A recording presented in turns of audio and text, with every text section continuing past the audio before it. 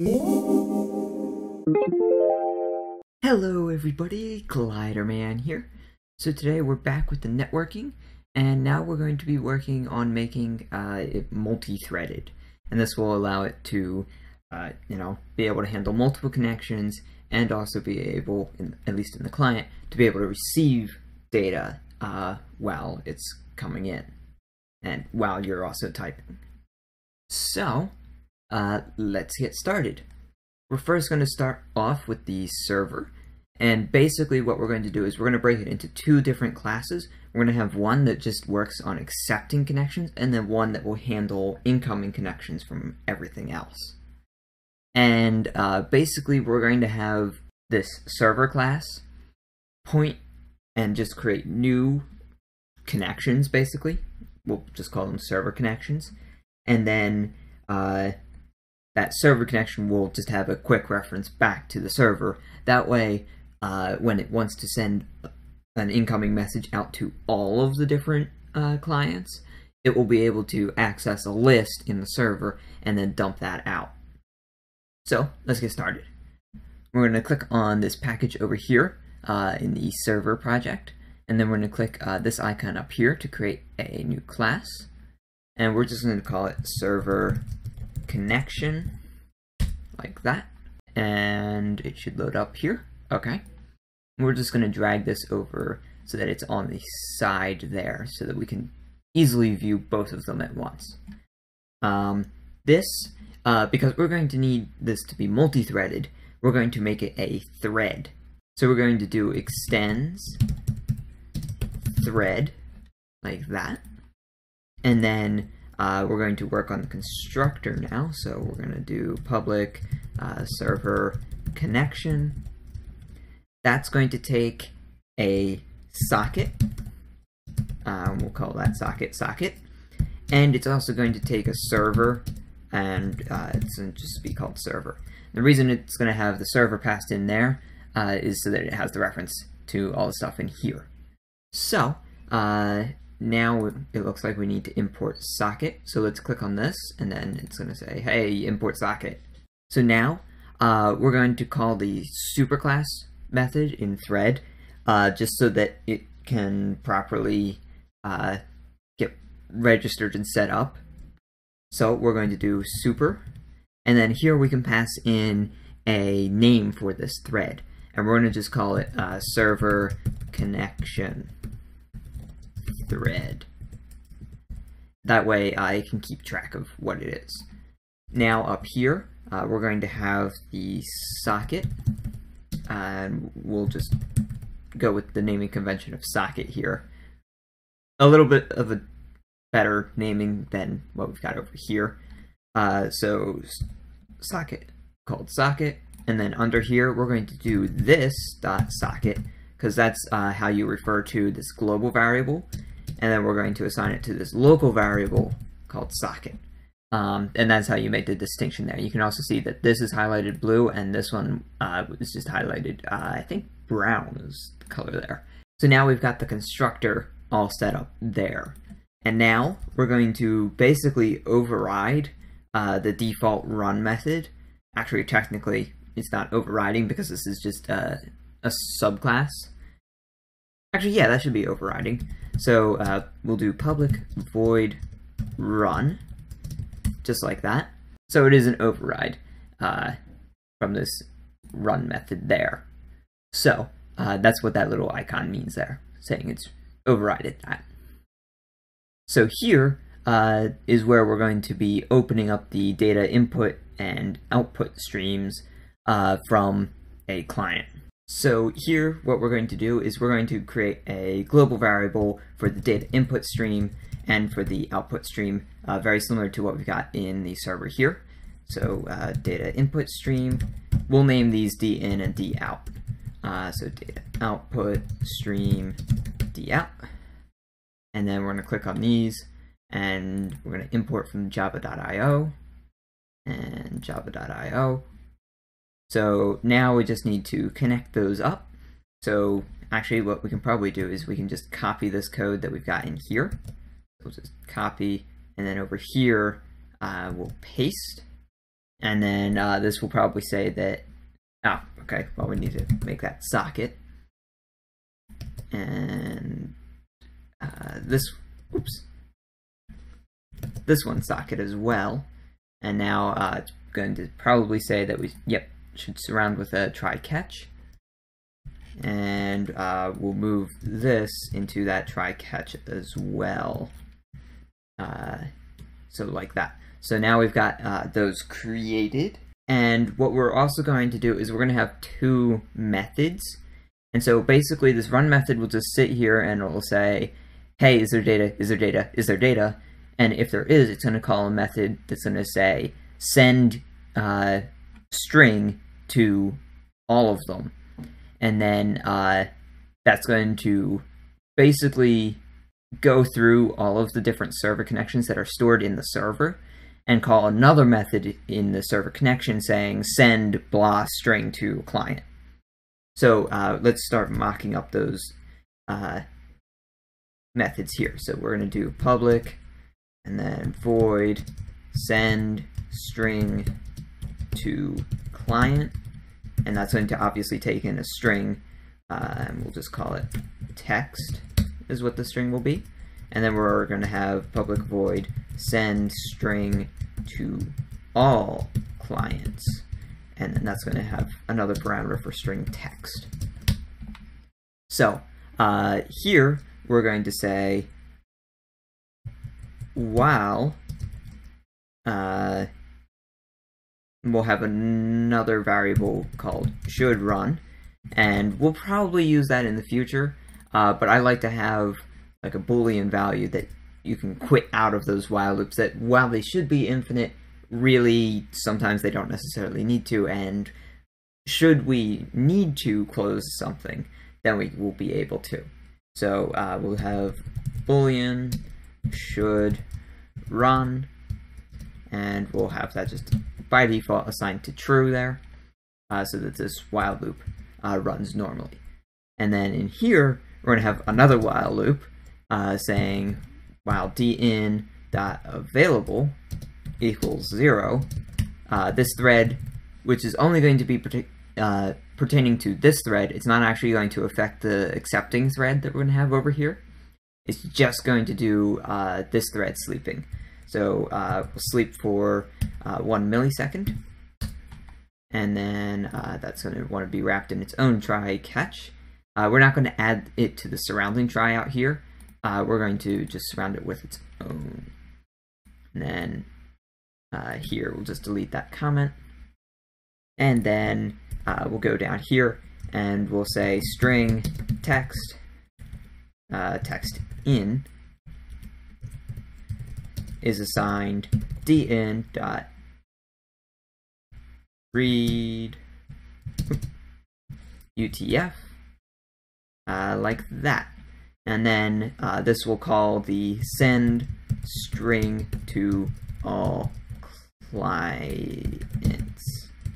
And then we'll pass in text in to that and then uh, that'll go right back up to the beginning. And actually, I went a little bit too far outside of those while loops. That should be inside there, uh, so that it doesn't uh, suddenly uh, pop out here. Uh, and then what we'll do is we'll say dn dot close because if it shouldn't run, then obviously it should close stuff down. So uh, d out dot close and socket dot close. Okay, so I think that run method is all set up there. And uh, what we'll do up here is we'll start to renovate this. So we'll get rid of these uh, socket data input stream and data output stream. And I know that's going to throw up a lot of errors, but we'll obviously fix that later. Uh, we'll have an array list of server with a type of server connection. So it will only hold those, and then uh, we'll just call it connections. Is assigned a new array list, uh, server connection, and then uh, just parentheses there. So that's all created there.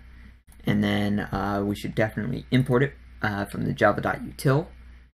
And then uh, we'll get rid of these ex except and then pulling in the input and output stream. Uh, we'll wrap this in a while loop. That way it can always continue to run uh, even after it accepts a uh, connection. Uh, do, do, do, put that there, put that brace there, and we'll also wrap this in a should run method as well. And we'll make a boolean for that up here, should run, and then assign that to true. And then uh, here we'll have socket s is assigned ss dot uh, accept. So now we've got that there, and then uh, we'll create a new server so uh, server connection. So uh, server connection uh, sc is assigned a new server connection, and that's going to take that socket that we've called s, and it's also going to take a reference to the server class. So we're going to just call it. Uh, we're going to pass that in by saying this, which will pass in an instance of a you know this class or this object into the server connection object. And actually, we should probably save that server connection object for now. So, uh, we've got the server connection there, and now we also need to add it to our connections array list. So, we'll do connections uh, dot, and then add, and then we're going to add sc, which is our server connection. And then uh, we'll also get rid of this method listen for data. So we can get rid of all of that and then uh, we'll save the server. So the server is actually pretty simple. It's just got that server socket where it's listening for new connections on, uh, in this case, port 3333. And then when it detects one, it'll pull in that socket and then pass that uh, socket into a new server connection along with a reference to uh, itself. And then uh, it will also add that server connection to an array list here. So uh, what we'll do in here, in the send string to all clients, is we'll have a for loop. And so we'll say, while integer index is assigned 0, because uh, all arrays start at 0, uh, that's kind of how they work, uh, index is less than server. Uh, actually, it looks like we don't have a local variable for server. So uh, after socket, we'll have server, uh, server, like that, and then we'll do this dot server is assigned server, which is the name of the value variable that we passed in there. And then we'll do server dot and then connections and then size. So basically, uh, it's going to go and it's going to say starting at index 0, iterate through all of the different uh, server connections.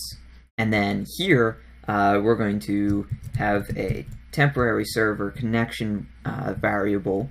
So uh, server connection uh, sc is assigned server dot connections dot get, and then we're going to get index well index.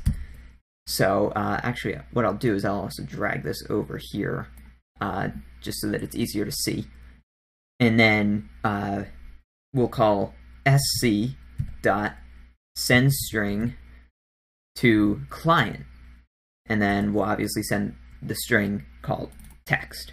And that'll go through all of the server connections and it will call this method here. So now in that method, all we really need to do is dout dot uh, let's see here, write UTF, and then basically it's just going to take in the string and uh, one important thing to make sure that all of your data goes out is you want to call flush. And actually, we should probably wrap this in a try catch first. There we go. And so we're going to do dout.flush like that. And that will make sure all of your data is cleared out of that stream, out of all of that buffer space, and it has to go is basically how that works. So, um, I don't know what's up with the weird formatting. uh, on your. It's probably something to do with me recording, uh, but anyway, everything should be good there.